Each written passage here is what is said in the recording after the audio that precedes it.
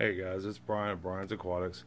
I'm showing you the uh, finished stand from the uh, wheelchair stand I did um, a video on, I don't know, maybe three weeks ago, month ago. Uh, but anyhow, here's the finished product. It's been stained, polyurethane.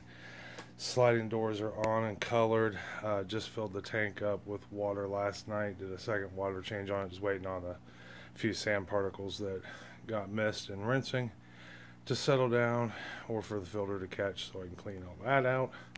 Uh, but anyhow, here we go. I'm going to show you what the inside of the stand looks like also and its functionality. The pump is running on it um, and the electric, all the electrical is working off the power strip that I mounted in the last video. Alright, let me get a little closer. I'll show you how it goes. Okay, here we go. I, I I'm sitting in a chair that's 19 inches tall. I don't have the wheelchair anymore to be able to do it from the wheelchair. But this chair I'm sitting in, which is your average dinner chair, for your table is 19 inches, and that's the same height as a wheelchair. So that way I know I can get in and do everything based on it. And I'm sitting far enough back that the uh, uh, footrest should be able to sit right here, and you won't have to worry about falling out of your chair even if you use your footrest. All right, so the first thing, I have to put the knobs on this still, but is this side here, like I showed you in the last video, but now it's got a filter on it. So in order to get this out, all you gotta do is pull it out like that. You can disconnect it and get it cleaned. You don't have to bend real far over to get it. Um, at least not far enough that you run the risk of falling out of your chair. Um, it's at a nice comfortable position, should be able to, to lift. All right, and then I just put it back. Now, on that, when I go to build the second stand, which I'm building an identical one like this to put the exact same setup right next to it, um, it's part of the gallery that me and the missus are doing. Um, this 2x4 here on the original frame, I would have made that a 2x3. When you go to pull this out until those hoses wear out. It just doesn't, I'm not real comfortable with the clearance on there, although it does function, so that's a plus positive. Now, over on this side, again, we had the uh, slide out electrical, um, which I don't have a timer set on this yet, but I'll put a timer on this for the lights.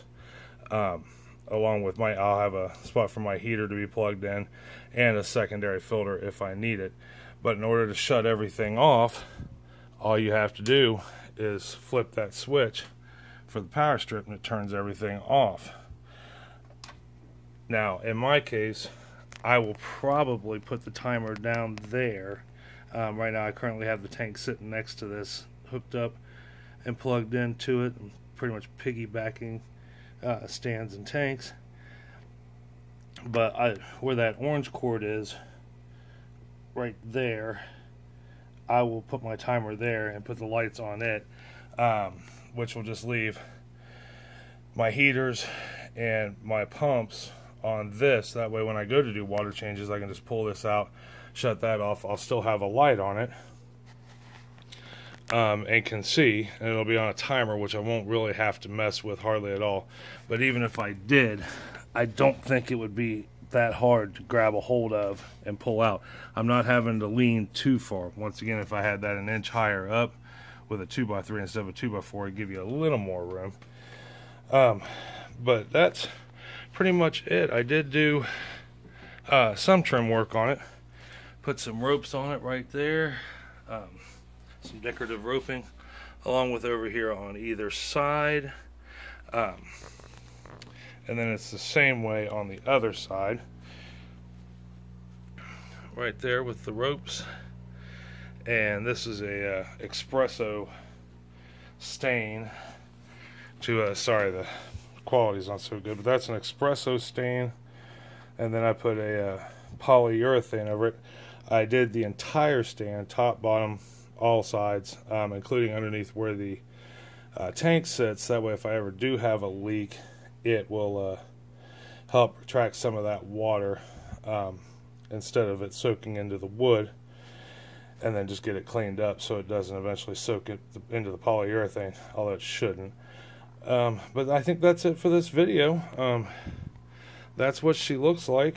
I will try to put out another video when I've got fish in it and all that. Right now, I just set it up so it's still got a cycle. I do have some rainbows I'm going to put in here um, along with my Raphael cat. At least that's the plan for now.